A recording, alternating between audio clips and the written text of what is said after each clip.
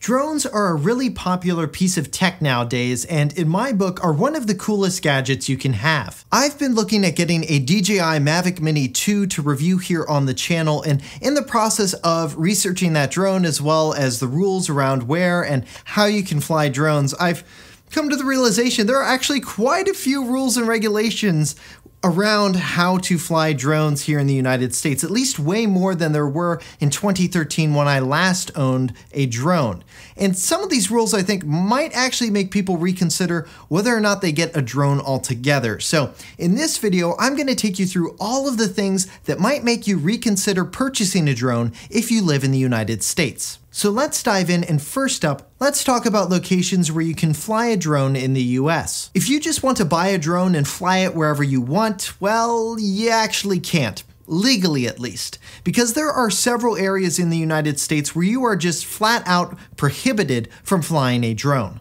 You can't fly drones in national parks. A lot of state parks, like here in North Carolina, also prohibit flying drones within park property, and even some cities will ban drones in certain parks and have only a few designated areas for flying drones. Another thing you need to be aware of is controlled airspaces, especially if you live in a densely populated area with a major airport. Drones are generally prohibited from flying in anything but Class G airspace. However, you can fly in controlled airspaces, but you need to have authorization to do so. Do note that there are some controlled airspaces you're completely prohibited from flying in, like areas around Washington, D.C., military bases, areas like Camp David, etc. And also, there are sometimes special events like sporting events at stadiums, which will then prohibit you from flying above or near those locations as well. The FAA which stands for Federal Aviation Administration, that's the agency that's in charge of the United States' airspace. The FAA has streamlined the authorization process for drones to fly in controlled airspaces using the Low Altitude Authorization and Notification Capability, also known as LAANC, data exchange system. Basically, you can use a smartphone app like Kitty Hawk to request authorization to fly in a controlled airspace as long as you fly at or below 400 feet above ground level, which is the maximum altitude for all drones flying anywhere in the United States. Now, within a given controlled airspace, there are actually different altitude height limits for drones depending on where in that controlled airspace you plan to fly. The FAA has a great map that you can use to check the location of where you'd like to fly and the maximum height you can legally fly your drone within that controlled airspace. So, for example, if I want to fly my drone at Crabtree County Park here in Raleigh, right near RDU Airport, you'll see that the altitude limit for flying a drone would be 100 feet. I'll leave the link to this map in the video description below so you can check out the areas you'd like to fly a drone to see if you'll be allowed to.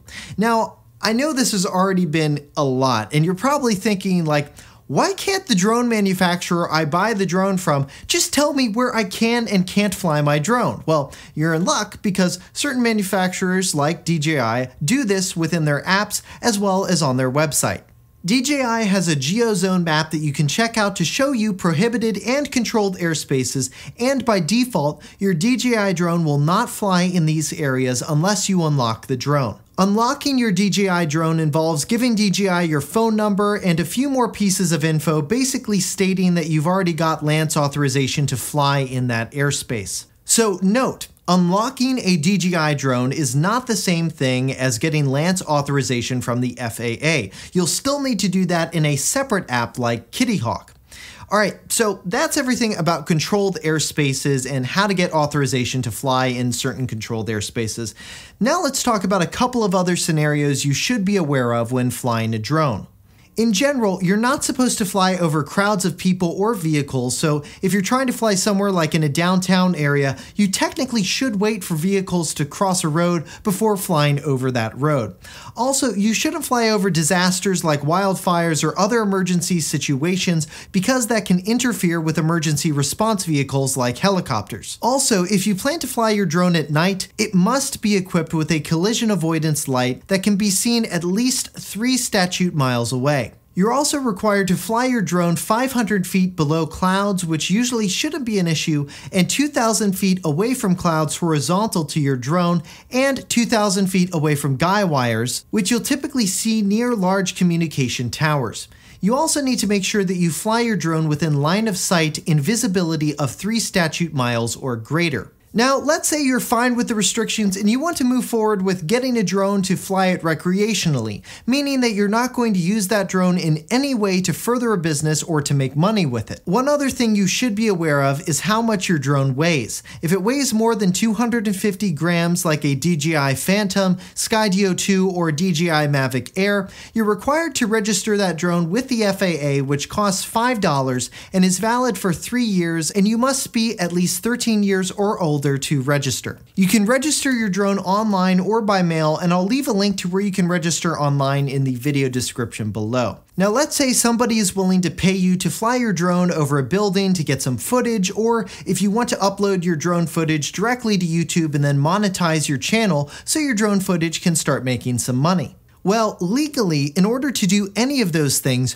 you'll need a remote pilot certificate from the FAA under the Small UAS Rule Part 107. To qualify, you need to be at least 16 years old, be able to read, speak, write, and understand English, be in good mental and physical condition to safely fly a drone, and pass the initial aeronautical knowledge exam. The certificate is good for two years, and certificate holders must pass a recurrent knowledge test every two years. Now, the knowledge tests must be completed at an FAA authorized testing center.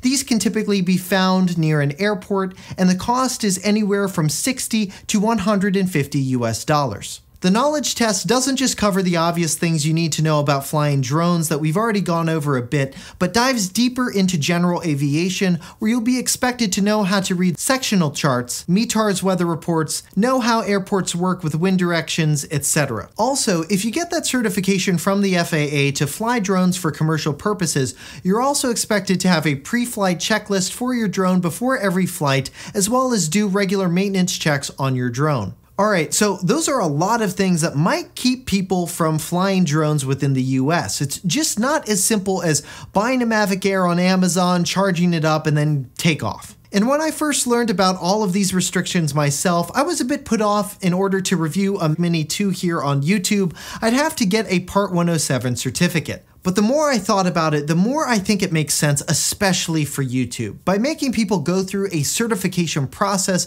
and actually know how to properly fly a drone and all the rules around drones in general, it should help weed out some of the idiots out there that are just looking to do dumb and reckless things with their drones just to try to get as many views as possible on YouTube. Drones have the ability to cause serious property damage or bodily injury if they just fall out of the sky or if they hit an an airplane or get sucked into a jet engine, that could turn catastrophic. By having these rules, it allows the FAA to go after bad actors as well as just educate flyers who may not even be aware they're breaking the rules. Now, I'm still anticipating getting a drone at some point and going through the certification process to get my drone certificate so I can review the drone here on this YouTube channel.